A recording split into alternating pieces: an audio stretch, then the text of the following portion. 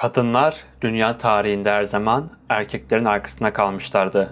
Özellikle bundan yüzyıllar öncesinde kadınların tek işi çocuklar doğurup onlara bakmaktı. Fakat bu olay Türklerde böyle gerçekleşmiyordu. Türkler her zaman kadına değer verip gerektiği zaman Hakan kadar söz sahibi bile olmasını sağlıyorlardı. Bu kadınların da kesinlikle en ünlüsü Türklerin ilk kadın hükümdarı olan Tomris Hatun'du. Tomris Hatun 6. yüzyılda yaşadığı düşünülen Saka kraliçesiydi. Türk olduğu konusu epey bir şaibeli. Fakat isminin günümüzdeki Türkçe'de demire çevrilmesi ve Sakaların yaşadığı yerde şu an günümüzde Türkmenistan, Kazakistan, Özbekistan gibi ülkelerin olmasından dolayı Türk olduğu söylenir. Ayrıca unutmamak gerekir ki çoğu kaynakta kendisi Türklüğü kesin olan Alper Tunga'nın torunudur. Sakalar her zaman Perslerle savaşıp duruyorlardı. Tomris Hatun barışçıl bir insan ve savaşların savunma yapılarak kazanılacağını düşünen bir hükümdardı.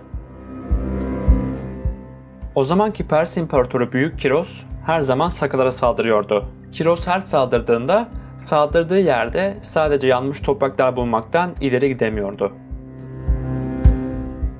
Tomris Hatun liderliğindeki Sakalar her zaman bir adım daha geri çekiliyordu. Büyük Kiros önderliğindeki Persler ilerleyebilmek için gıdaya ihtiyaç duyduklarından ve aldıkları yerlerde yanmış topraklar dışında hiçbir şey olmadığından dolayı İran'a geri dönüp duruyorlardı. Büyük Kiros en sonunda başka bir yol denemeye karar verdi. Tomris Hatun'a seninle evlenirsem Sakaları rahat bırakacağım diye söz verdi. Tomris Hatun bunun altında bir oyunun yattığını düşündü ve bu teklifi reddetti. Bu teklife red cevabını aldıktan sonra Büyük Kiros çok fazla sinirlenmiş vaziyette Sakalara savaş açtı. O zamanlarda Pers ordusunda çok ilginç bir silah vardı. Eğitilmiş köpekler.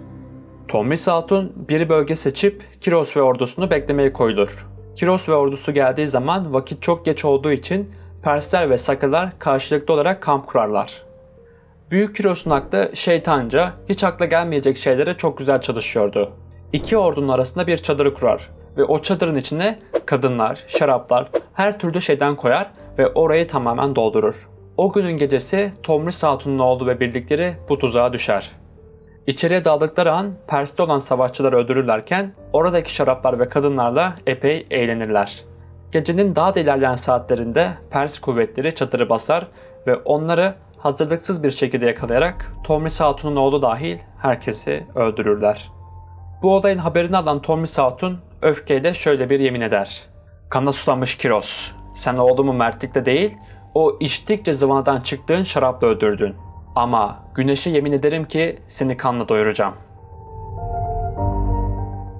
Oğlunun ölümüyle savaşı iple çeken Tomris Hatun, ertesi gün yapılan savaşta Persleri büyük bir yenilgi uğratır. Bu savaşta Pers kralı Büyük Kiros ve Tomris Hatun onun cesedini karşısına getirilmesini ister. Ceset karşısına gelince tek bir kılıç hamlesiyle kafasını yerinden koparır ve içi kan dolu bir fıçıya fırlatır. Tarihe de geçmiş olan şu sözleri söyler. Hayatında kan içmeye doymamıştın. Şimdi seni kanla doyuruyorum.''